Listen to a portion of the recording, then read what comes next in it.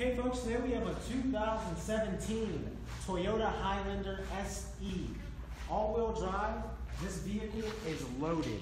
Nice white pearl coat, metallic, with the privacy glass in the back. This vehicle is super sleek.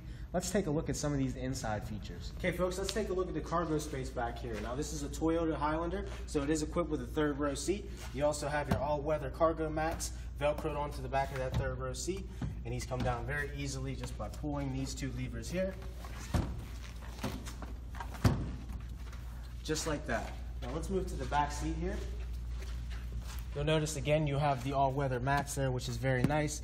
Better than that, you have the all-leather captain's chairs in the back, black leather interior, extremely comfortable and extremely roomy for any of your passengers there.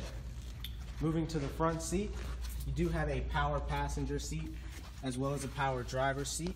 Now this is a very loaded vehicle. You're going to have your touchscreen there equipped with your navigation. You also have your steering controls. This vehicle is equipped with the heated seats. You also have your four-wheel drive lock as well as other traction controls and a moonroof as well.